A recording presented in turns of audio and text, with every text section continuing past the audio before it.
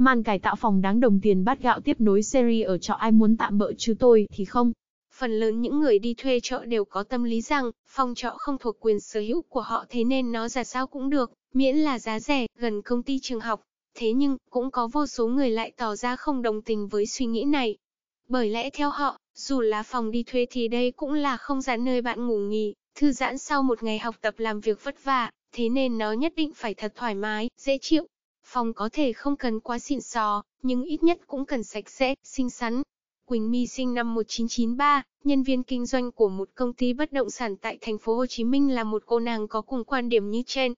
Đó là lý do dù bận rộn công việc nhưng Quỳnh My vẫn quyết tâm bắt tay tự trang hoàng lại phòng trọ của mình. Căn phòng ban đầu của Quỳnh My trông khá lộn xộn và cũ kỹ. Và rồi nó đã lột xác hoàn hảo thế này đây. Mong muốn có không gian sống tươi mới hơn, sạch sẽ hơn và có nơi để sống ảo, Quỳnh My lên kế hoạch cải tạo phòng từ những chi tiết nhỏ nhất.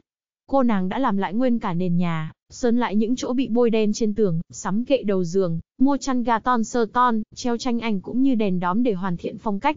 Mỗi chỗ chỉnh sửa một tí, nghe thì có vẻ nhiều công đoạn và mất nhiều chi phí, tuy nhiên tổng chi phí mà Quỳnh My bỏ ra để có căn phòng mới chỉ rơi vào khoảng 1-2 triệu đồng mà thôi.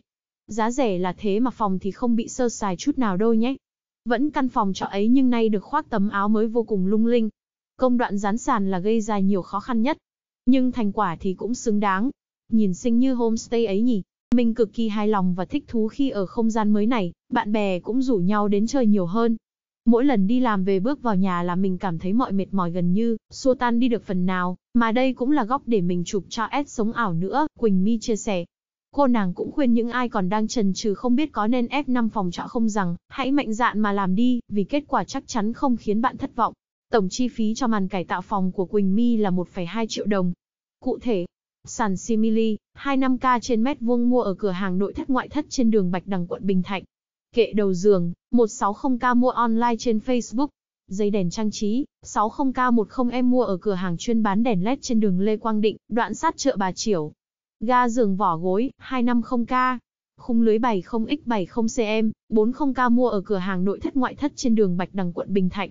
Ảnh in, 2k trên tấm. Nhấn nút subscribe để luôn nhận được những tin mới nhất.